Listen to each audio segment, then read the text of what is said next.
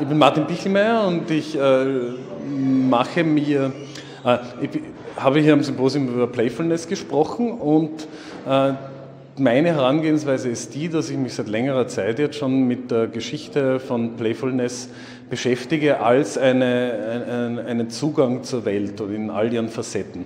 Ähm, äh, die Facetten der Playfulness, von denen ich da spreche, sind zum Beispiel der Nutzen des Spiels als äh, äh Lernen, als, äh, äh, als äh, wichtiges Austesten der Grenzen der Welt sozusagen, egal ob in sozialer oder in irgendeiner anderen Hinsicht. Äh, Andererseits äh, auch den spielerischen Zugang zu Technologie, zu Bauen, zum, zum Erzeugen von Dingen, zum Erfinden von Sachen äh, und auch davon wieder die geschichtliche Seite. Aber auch so Randgebiete wie äh, den Zusammenhang zwischen der Geschichte von Spielen und militärischen Simulationen oder solchen Gebieten, die dann aus dem Spielerischen herausragen in einen Kontext, der ein ganz andersartiger ist.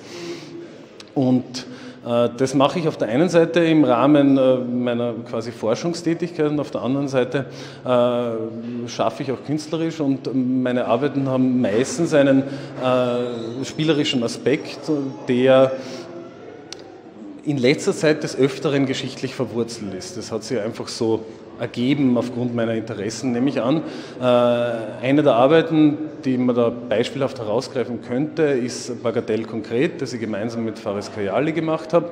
Äh, ein umgebauter Flippertisch aus den 70er Jahren, äh, der wieder zum Leben erweckt wurde als Art Audioinstallation, als Musikinstrument, bei dem alle Elemente, die äh, für das Spielerische äh, früher verantwortlich waren, also alles, was mit Punkten und Zusatzkugeln und all diesen Dingen zu tun hatte, entfernt wurden und ersetzt wurden durch ähm, musikerzeugende Mechanismen. Das heißt, er nimmt auf und er gibt dir wieder, wie du den Flipper spielst, als äh, ein, ein, ein äh, musikalisches Patchwork an äh, mechanischen Geräuschen.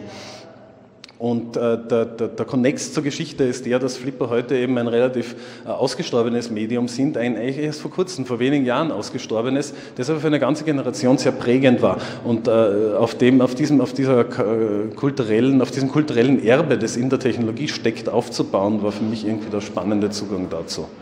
Äh, insofern ist dieses Schaffen von Beschränkungen natürlich irgendwo die, die, die, die primäre schaffende Tätigkeit. Und ja, das mache ich natürlich. Äh, auf der anderen Seite sind die Spiele, die ich, äh, also Spiele will ich es nicht nennen, aber die Arbeiten, die ich konkret gemacht habe, ich würde sie deswegen eben auch nicht Spiele nennen, auf jeden Fall welche, die viel mehr Freiheit bieten, als es jetzt klassische Spiele machen würden. Das heißt, wenn meine Arbeiten spielerischen Charakter haben, dann geht es darum, dass ich mich eben in einer relativen Freiheit in ihnen bewege bewegen kann und relativ viel, äh, relativ autark agieren kann. Im Unterschied zu den meisten kommerziellen Spielen, die wirklich eben sehr stark einschränkend sind, äh, gibt auch dort Ausnahmen.